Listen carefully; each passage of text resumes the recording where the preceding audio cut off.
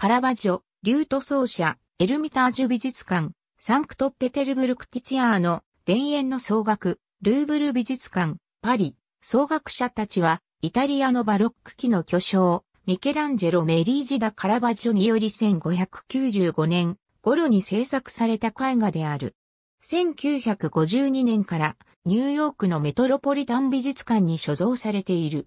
1983年に大掛かりな修復が行われた。カラバジョは1595年にフランチェスコ・マリア・デル・モンテ数奇教の家に入居した。総学者たちは特に数奇教のために描かれたカラバジョの最初の絵画であったと考えられている。カラバジョの電気作家である画家、バッディオーネは自然から巧みに引き出された音楽を演奏する数奇教の周りの若者とリュートを演奏する若者のために描いたと述べている。リュートを演奏する若者とは、おそらくカラバッジョの別の作品、リュート奏者のことであり、奏楽者たちの大作品となっているようである。絵画は、ほとんど古典的な衣装を着た4人の少年を描いている。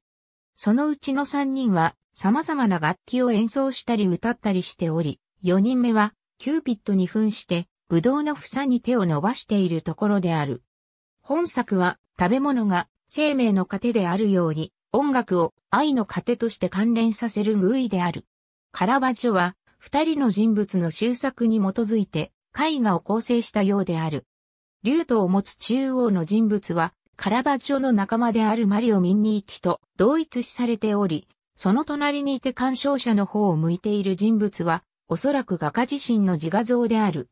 キューピットの姿の少年は、数年前に制作された果物の皮を剥く少年、さらに、アッシジの聖フランチェスコの法越の中の天使と非常に類似している。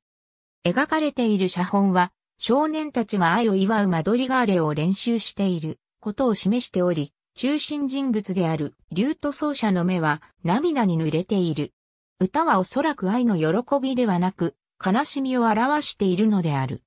前景にあるバイオリンは5人目の登場人物がいることを示唆しており、暗黙のうちに鑑賞者を画面に引き込んでいる。当時、奏楽者たちを表す場面は人気のあるテーマであった。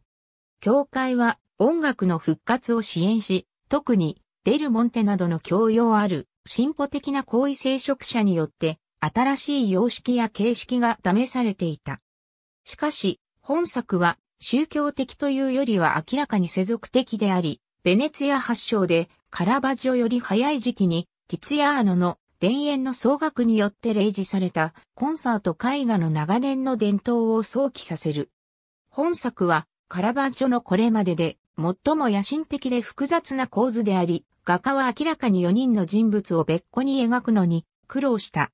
4人は互いに、または画像空間とは関連性がなく、全体的にやや不器用に制作された感じを与える。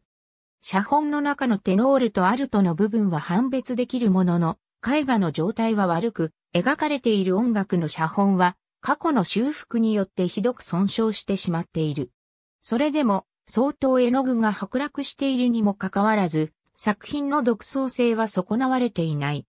ABC ヒバード、ハワード、キャラバジオ、オックスフォード、ウエストビュープレス、P31、ISBN 9兆7800億6430万1282、オーディオストップ5198、ザ・ミュージシャンズ、metmuseum.org、2021年6月21日、閲覧。ランデン、ヘレン、キャラバジオ、A ライフ、ウエストビュープレス、ISBN 9兆7808億1333万7944 https コロンスラッシュスラッシュブックス .google.com スラッシュブックススラッシュアバウトスラッシュ caravagegio.html ID イコール船舵ハット AB グラハム、ディクソン、アンドリュー、キャラバジオ、A ライフセークリッドプロフェイン、ペンギンブックスリミテッド、ISBN 9兆7802億4195万4645 https コロンスラッシュスラッシュブックス .google.com スラッシュブックス IDE イコール 9G76 ネム C ありがとうございます。